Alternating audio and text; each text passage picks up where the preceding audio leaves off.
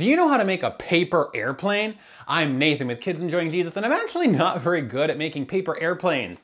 At least not airplanes that can fly very well or very far, but I can show you a paper airplane object lesson that uses a pretty cool trick to teach kids about faith. If you like this idea, you can visit kidsenjoyingjesus.com to get more tips and tools to help you teach Bible truths to kids.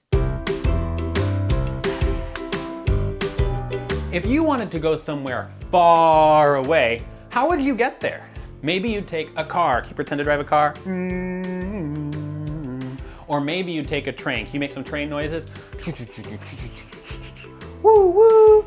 Maybe you take a boat. Can you pretend to row, row, row your boat wherever you want to go? Or maybe you'd take an airplane. Can you make your hand go through the air like an airplane? Now these things can take you a long way. But there is somewhere they can't take you. They can't take you closer to God.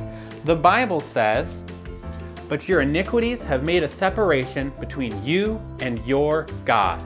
Iniquities is another word for sin. Sin separates us from God. So I'm gonna write sin right here on my little piece of paper. Now sin is anything you think, say or do that disobeys God, the things God says not to do. You sin whenever your parents tell you to do something and you say, no, I'm not gonna do that. You sin whenever your parents tell you to do something and you say, Ugh! and you maybe cross your arms and make a really nasty face, and maybe you don't actually say no, and maybe you actually do it, but you still are disobeying in your heart and with your mouth and with your face and with your actions. Those things are sin. We all sin with our attitudes, our words, and our actions because we're all born wanting to sin against God, and sin separates us from God. It's a really big deal.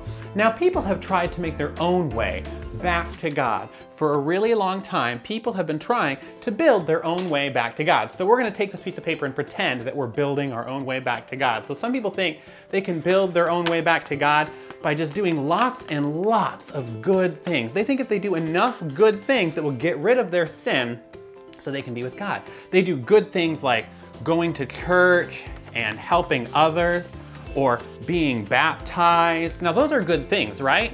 Those are good things. In fact, the Bible talks about them.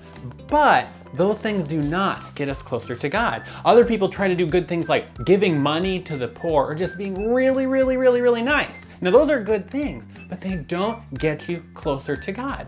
You can't build your own way to God. It makes about as much sense as thinking you can build a magic airplane that can get you to God.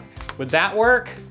No, that would not work at all. I can build a paper airplane and I could even say it was a super special airplane. I could even say it was a magic airplane or whatever I wanted to say. But whatever I do, that special paper airplane can't get the sin out of my life. It can't get me close to God, and neither can anything else that I would do. In fact, the Bible says that our own righteousness, the good things we do on our own to try to make our own way to God, is like garbage. It's worthless compared to how perfect, pure, and good God is.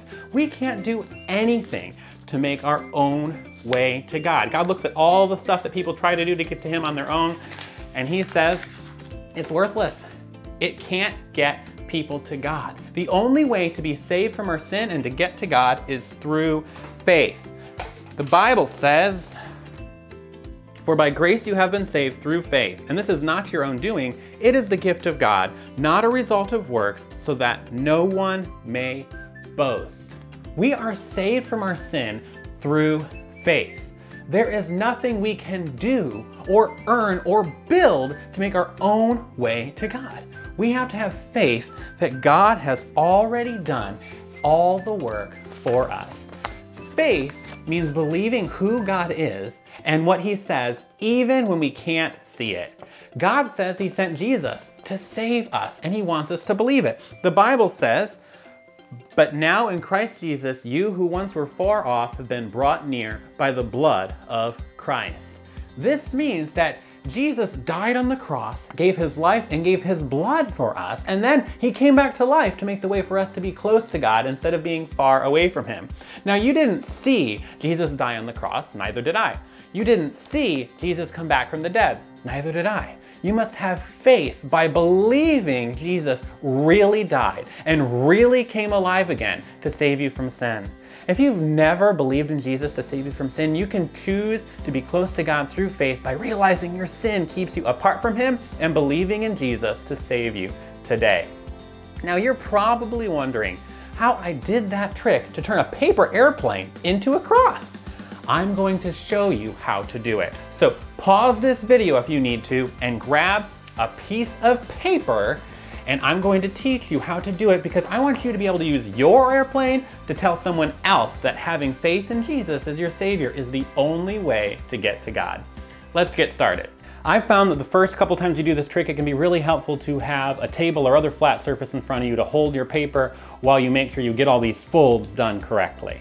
So the first thing you're going to do is you're gonna grab one of the corners and fold it down to the other side. So line that up really nice and then just fold it down. So it forms sort of a triangle, almost a triangle. And then you're gonna grab the top corner of that almost triangle and pull it down to the other side, exactly where that other piece had folded down. So now you fold that down and you have a little house. At least I think it looks kind of like a little house. Isn't it cute? And while you're doing this, you're gonna talk about how we can't build our own way to God. We can't get to God on our own. And now you're gonna take this house shape and fold it in half. And this part is almost like what you do building a normal paper airplane. Just fold that in half. So once again, you took that house shape, and just folded it in half on top of itself. And now it's time to make the wings. And this is where it gets a little bit different. You just take that first wing and fold it over. It looks totally normal. But now when you get ready to do the next wing, you're gonna notice you've got this extra little horn there. it's like a little baby unicorn. And you're going to grab that with the wing and fold it down too. You don't want that sticking up in the middle. Now, if you look closely, you'll see it's still there. I just keep it folded down with the wing so you really can't see it. But this is the trick. This is the part that makes this into a cross when you unfold it. So you just fold it down with the wing, fold those wings down good and hard, and now you've got a paper airplane. This airplane actually doesn't fly very well because of the way it's made, but the way airplanes fly reminds me of another lesson about faith. Real airplanes can fly because as their engines push them through the air, the air flows over and under their wings to create a force called lift that holds the airplane up. You can't see the air lifting the airplane up, and most people can't even explain how it works. I didn't explain it very well because I don't understand it super well. But we believe it's there holding the airplane up. We believe the air is holding the airplane up even though we can't see it. Believing and trusting something you can't see is called faith. God wants you to have faith to believe and trust Him even when you can't see what He's doing. I memorized a verse that says, And without faith it is impossible to please Him, for whoever would draw near to God must believe that He exists and that He rewards those who seek Him. We can't live the way God wants us to without having faith. Having faith like this doesn't just save me from sin, it changes my whole life. The Bible tells us how faith in God has changed lives of people like Noah, Abraham, Moses, and many others. In fact, after you watch this video, you can get your Bible and read Hebrews chapter 11 with your family. You'll find out about these people and many others who lived by faith. You'll also read about how faith in God got these people through some really crazy hard times. Many of these people had their lives torn apart, which is exactly what we're going to do next with our airplane. You're gonna grab the wings right up here where you folded them down, and you're going to tear them off. Tear it down right along the line, the crease that you made whenever you folded them down. Now it looks like we're totally wrecking the plane, but without doing this, we could never turn it into something even better. Now maybe you've been feeling scared or sad because life has been difficult or really hard for you right now. But even when life looks really bad or ruined, you can have faith that God is still in control and He still cares and He is still working, even when you can't see how. Now it looks like we totally just wrecked the airplane. In fact, now I like to take the wings and crumple them up and just throw it away because I want to make it look like we just totally ruined this thing. But when you open it up, you will see that we didn't actually ruin it. We made it into something better. It's now shaped like a cross to remind us about Jesus. When Jesus died on the cross, it was terrible, bad, and awful, but God was working in a way people couldn't see.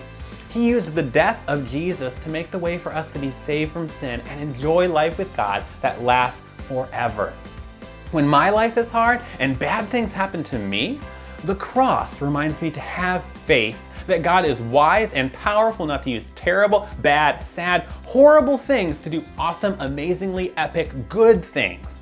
The Bible says, let us also lay aside every weight and sin which clings so closely, and let us run with endurance the race that is set before us, looking to Jesus, the founder and perfecter of our faith, who for the joy that is set before him endured the cross, despising the shame, and is seated at the right hand of the throne of God.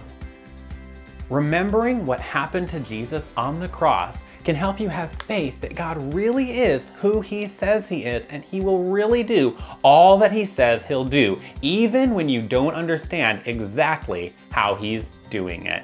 You can have faith that God is who He says He is, and He does what He says He will do. I hope this simple airplane trick will help you remember to have faith in God. And I hope you'll share this airplane trick with other people and give this video a thumbs up. I also hope you'll watch more of our videos and subscribe to our YouTube channel. If you're a parent, pastor, or Sunday school teacher, you should also visit kidsenjoyingjesus.com for more ideas and resources to help you teach Bible truths to kids. Thanks for watching.